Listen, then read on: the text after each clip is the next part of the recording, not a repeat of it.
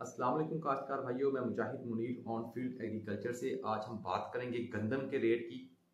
Sindh government ने गंदम का रेट जो है वो चार हज़ार रुपये फ़ी मन कर दिया है तकरीबन दस हज़ार रुपये बोरी जा पहुँचती है। अखराज काश्तकार के बढ़ रहे थे। अखराज बढ़ने की वजह से डी ए पी का रेट बाकी दीगर मुदाखलात का रेट और जो हमारे फ्यूल के जो लगते हैं, पानी लगते हैं, गंदम का ज़ाहर है, बहुत ज़्यादा खर्चा होता है, काश्तकार को एंड पे तूड़ी बचती है, लेकिन इस मरतबा जब रेट बढ़ जाएगा तो उम्मीद काफ़ी है कि गंदम में जो है प्रॉफिट की शरह जो है वो काफ़ी ज़्यादा होने के चांसेस नज़र आ रहे हैं। तो काश्तकार भाइयों, ये देख लें, अब आप री प्लान करें।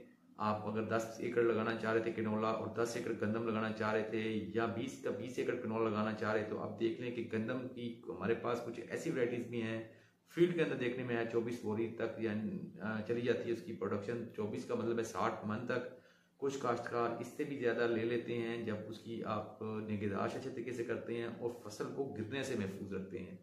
इस वीडियो में मैंने सिर्फ़ ये बात करनी है कि गंदम का रेट जब बढ़ा है तो पंजाब गवर्नमेंट भी इसको बढ़ाएगी ज़ाहिर है, नहीं तो स्मगल होकर सिंध में जाएगी और फिर दीगर मामला खराब होंगे। तो रेट अगर बढ़ता है गंदम का तो अगर आपकी चौबीस बोरियाँ और बीस बोरियाँ तक तो आती है दस हज़ार रुपये को अगर हम ज़रब देते हैं तो तकरीबन दो लाख चालीस हज़ार, दो लाख रुपए बनते हैं, वो ख़र्चा निकाल भी दें तो इस फ़सल में इस साल अच्छा नफ़ा देखने को नज़र आ रहा है।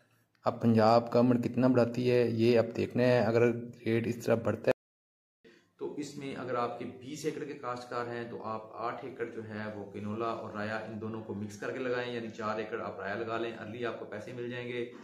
दूसरा आप अगली फ़सल जो है वो अर्ली लगा सकते हैं, फरवरी के अंदर वो पक जाता है। दूसरा आप चार एकड़ पे जो है वो किनोला हाइब्रिड लगाएँ या मस्टर्ड हाइब्रिड लगाएँ, इसके बारे में मैंने वीडियो अपलोड कर दी हैं। और 12 एकड़ जो है वो गंदम लगाएँ, उसकी वजह यह है कि गंदम आपको अगर अच्छी पैदावार आ जाती है यकीनी तौर पर आएगी भी, अगर आप अच्छे तरीके से इसको लगाएँगे और आप सिर्फ़ और सिर्फ़ लॉजिंग को कंट्रोल करना है गंदम की। हम जो देर तक यूरिया इस्तेमाल करते हैं और जो हमारा काश्तकार गोप के ऊपर जाके यूरिया लगाता है और बाकी दीगर मामला जड़ी बूटियों का स्प्रे हम लेट करते हैं, इसकी वजह से गंदम गिरने के ज़्यादा अमकान बढ़ जाते हैं वैरायटी हम बड़ी लॉन्ग स्ट्रेच लगा लेते हैं, जहाँ पे गंदम गिरने के चांसेस ज़्यादा होते हैं, वहाँ पे छोटे कद की वैरायटी लगानी चाहिए। तमाम वैरायटी का पोटेंशियल तकरीबन बहत्तर से अस्सी मन है। कोई वैरायटी भी हमारी कमज़ोर नहीं है, सिर्फ़ आप उसको देख के लगाएँ, दो तीन वैरायटी लगाएँ, उन वैरायटीज़ को नहीं लगाना जिसपे रस्ट आती है। तो अब हम आगे गंदम की तरफ़ भी सफ़ा शुरू करेंगे और सिर्फ़ बताने का आज का जो था क्योंकि गंदम का रेट बढ़ गया है तो आप अपनी क्रॉपिंग स्कीम को दोबारा देखें और गंदम की तरफ़ जो है वो आप थोड़ा सा अपना जहन बनाएँ। इसमें पैदावार भी ज़्यादा आने के चांसेस होते हैं और इसके जो इसमें रेट है वो भी आपको अच्छा मिलने जा रहा है।